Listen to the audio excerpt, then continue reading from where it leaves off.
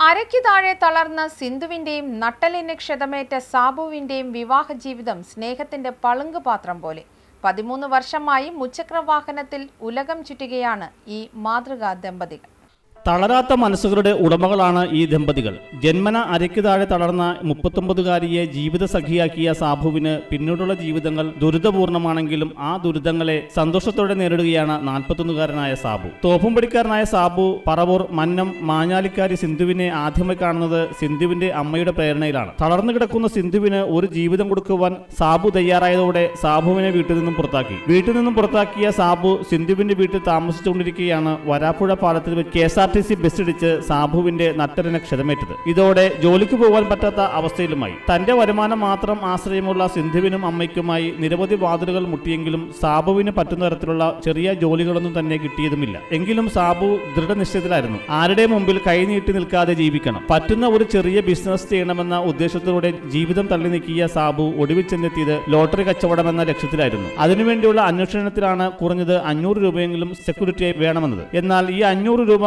ആര് തരാനാണ് അങ്ങനെ ഇരിക്കുകയാണ് കണ്ണമാലി പള്ളി വികാരി ഫാദർ ജോസി അച്ഛനെ കുറിച്ച് ഓർമ്മ വന്നത്. ചോദിച്ചാൽ നിരസിക്കില്ല എന്ന് കരുതിയാണ് സാബു അരയ്ക്ക് താഴെ തടർന്ന ഭാര്യ സിന്ധുവിനെയും കൂട്ടി കണ്ണമാലി പള്ളിയിലെത്തിയത്. എന്നാൽ മണിക്കൂറുകൾ ചിലവഴിച്ചിട്ടും അച്ഛനെ കാണാൻ പറ്റിയില്ല. അച്ഛന്റെ ഫോൺ നമ്പറും ലഭിച്ചില്ല. എങ്കിലും തളരാത്ത മനസ്സുമായി സാബു സിന്ധുവിനെയും കൂട്ടി മുച്ചക്ര വാഹനത്തിൽ വീട് ലക്ഷ്യം വെച്ച് യാത്ര തുടരുകയാണ്. ബിസിനസ്സിന് സമയമായിട്ടില്ല എന്ന് മാത്രമായിരുന്നു സാബുവിന്റെ പ്രതികരണം. തന്നെ കണ്ടുകൊണ്ട് പുതിയ ജീവിതത്തിൽ കടന്നു വന്ന രോഗിയായ ഭാര്യയെ സന്തോഷിപ്പിക്കുക അവർക്ക് സ്നേഹം നൽകുക എന്നത് മാത്രമായിരുന്നു സാബുവിനുള്ളത്.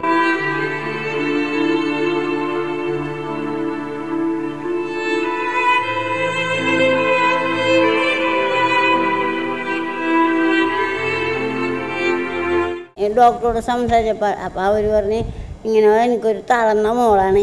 അതുകൊണ്ട് അതിന്റെ മനസ്സിന് ടെൻഷൻ കൊണ്ടാണ് പറ്റിപ്പോയത് അങ്ങനെ ഞാൻ പോയി ഒരിക്കലും അഡ്രസ്സൊക്കെ മേടിച്ച് അവക്കടെ വീട്ടിൽ പോയി ഇവളോട് ഞാൻ ചോദിച്ചു എടി ഇഷ്ടമാണെന്ന് ചോദിച്ചു.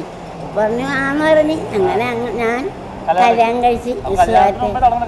ആ തളർന്നിരിക്കുക എന്നാലും ഞങ്ങൾ ഹാപ്പിയാണ് സാറേ. ഹാപ്പിയാണ് ഹാപ്പിയാണ്. അല്ലേ? മക്കളൊന്നുമില്ല ദൈവം തരുന്നില്ല. ഉണ്ടാവൂലെന്ന് പറഞ്ഞു ഡോക്ടർ. അങ്ങനെ അപ്പം അതൊക്കെ ഉണ്ടായി തന്നെ അതിന് പൊക്കിക്കൊണ്ട് നടക്കാനുള്ള ആവുന്നില്ല. ഞാൻ എന്തിനു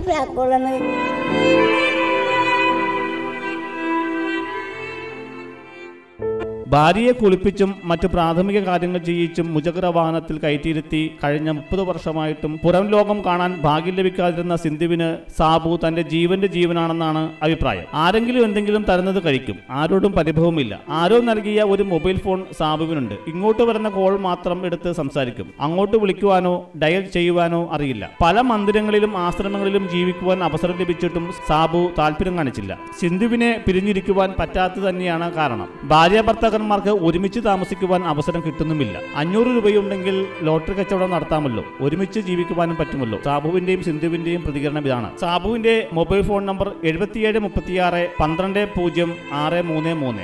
നമ്പർ ഒരിക്കൽ കൂടി. എഴുപത്തിയേഴ് മുപ്പത്തിയാറ് പന്ത്രണ്ട് പൂജ്യം ആറ് മൂന്ന് മൂന്ന്. ഉദാരമതികൾ ആരെങ്കിലും സാബുവിനെ സഹായിച്ചാൽ തളരാത്ത രണ്ട് മനസ്സുകൾക്ക് ഒരു പുനർജന്മം നൽകാൻ സാധിക്കും. ഒരു അഞ്ഞൂറ് രൂപയ്ക്ക് വേണ്ടിയുള്ള നെട്ടോട്ടത്തിലാണ് ഈ കുടുംബം. പ്രതീക്ഷ കൈവിടാതെ സാബു യാത്ര തുടരുകയാണ്.